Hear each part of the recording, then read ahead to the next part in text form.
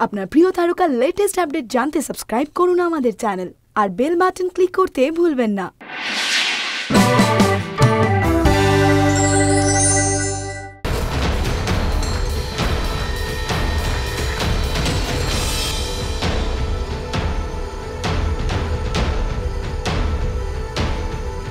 Rajasthan high court অবশেষে একটু হলেও স্বস্তি দিল বজরঙ্গি ভাইজান সলমান খানকে।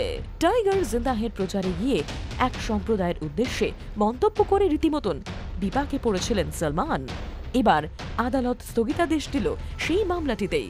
রিসেন্টলি একটি রিয়ালিটি শোয়ের মঞ্চে দাঁড়িয়ে এক সম্প্রদায়কে নিয়ে আল পটকা মন্তব্য করে বসেন সলমান। যদিও তার কাছে এই ব্যাপারটা নাথিং নিউ কারণ এর আগেও বহুবার এই ধরনের কাজ সলমান অবলীলায় করে বসেছেন। আর করতেই হবে আফটার অল বজরঙ্গি ভাইজান একটু বেশি যে bold and fearless Katrina Kaif তার সঙ্গে তারই সুরে সুর মিলিয়েছিলেন, যার জেরে সেই সম্প্রদায়ের মানুষের বিক্ষোভ আছড়ে পড়ে সলমান ক্যাটরিনার ওপর। মামলা গড়ায় আদালত পর্যন্ত। এফআইআর দায়ের করা হয়েছিল সলমান ক্যাটরিনার নামে। সঙ্গে বাড়ানো হয়েছিল দুজনের পুলিশি নিরাপত্তাও।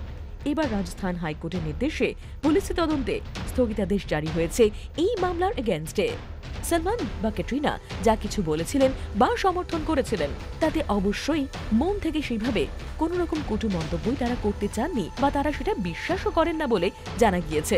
তাই সব মিলিয়ে এহেন মন্তব্যের জেরে অকারণে কোনো সুপারস্টারকে বিরক্ত করা না হোক, এমনটাই চাইছেন রাজস্থান হাইকোর্ট। আর সব মিলিয়ে স্বস্তি ফিরে এলো ভাইজনের লাইফেও।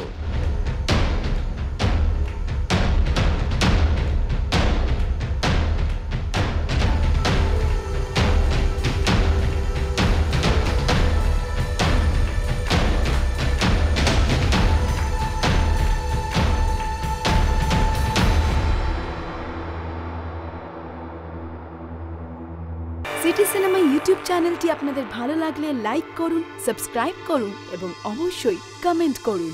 আপনার প্রিয় তারকার লেটেস্ট আপডেট জানতে সাবস্ক্রাইব করুন আমাদের চ্যানেল আর বেল বাটন ক্লিক করতে ভুলবেন না।